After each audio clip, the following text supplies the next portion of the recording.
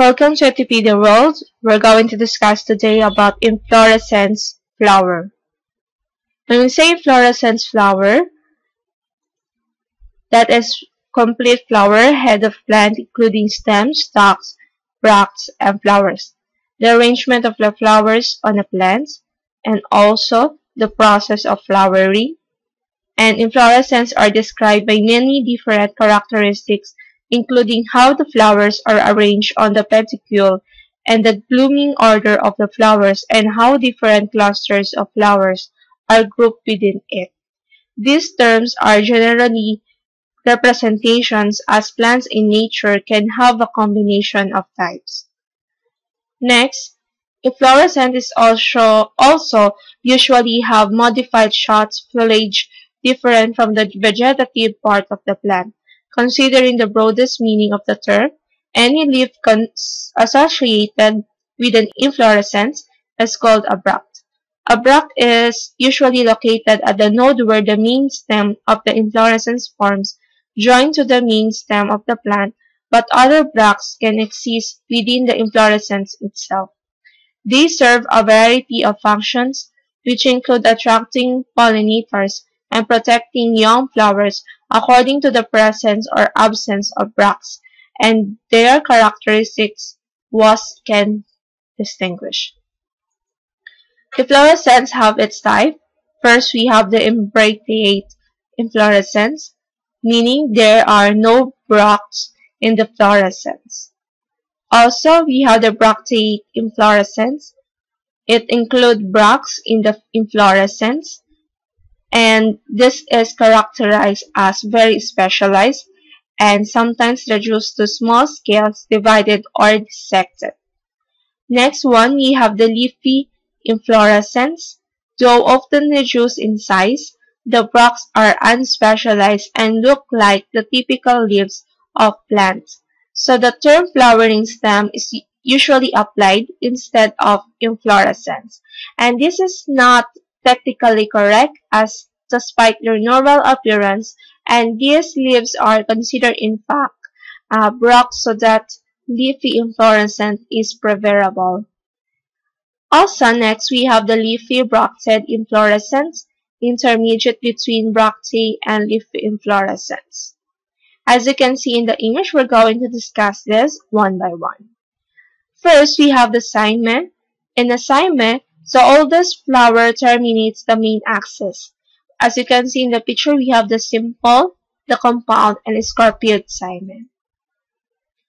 Next, we have the umbel, and it is typical inflorescence of the carrot family. Next, we have the corymbed, solitary, spike, raceme, panicle. And next, we have the catkin or armament. On the left side of the picture, you will see the male staminate and from the white mulberry, a fruitless variety commonly planted as a shade tree in Southern California. On the right side of the picture, you will see the individual male flower containing four stamens, and each with an anther in a filament. At the base of each filament is a fleshy green sepal, and male trees are known as fruitless mulberry because they do not produce massive fruits that stain clothing and wallboards. Since mulberries are wind-pollinated, male trees reduce or produce corpious pollen, which can rise havoc with hay fever sufferers. Next, this is the female catkin from a variety of black mulberry and mulberry flower are produced in a catkin, with male and female catkins on different trees. Male flowers have four stamens, while female flowers consist of single pistil, tightly enveloped by four inconspicuous sepals, and each carpel or pistils consists of forked stigma, a short style, and a spherical ovary, and each ovary becomes drupelet, and the rampant cluster of drupelets. This is also called as multiple fruits. In the agreement to aggregate fruit of blackberry, all the drupelets of the cluster come from a single flower. Seedless parthenocarpic fruits may be produced within pollination or without pollination by male trees. A spike-like inflorescence of unisexual apetalous flowers, often pendant and failing as a unit. This is typical inflorescence of willow, salix, cottonwoods, populus, oak, quercus, alders, alnus, and birch betula. All these species belong to a polyphyletic group of angiosperm families known as the Amentiferae.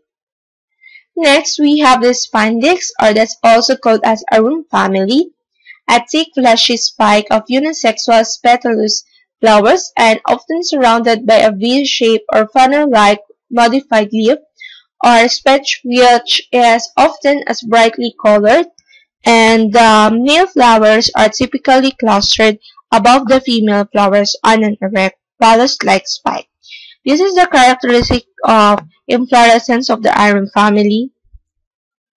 Next, we have the spathe, a leaf-like bract of shed that envelopes inflorescence, and the arum family, and the V-shaped or funnel-like spathe is often brightly colored. And also, because of the stems of the blossom, native to equatorial tropical rainforest of Sumatra, Indonesia, and this amazing plant attracts fowls of pollination. At its maximum de development, the spadix may be 8 feet tall, 2.4 meter, with a hodge shaped plated spathe over 4 feet and 1.2 meter, and tall and 12 feet or 4 meter in circumference. The deciduous patch upon inflorescence may be several feet long and quite woody, and in fact the fallen patches of coconut palms are boiled, dried, and waxed to produce a beautiful ball-shaped ball. Spathe balls from the coconut palm, as you can see in the example, and fallen patches are boiled, dried, and waxed to produce these sleek, shiny block balls. So thank you for listening to Pedia World.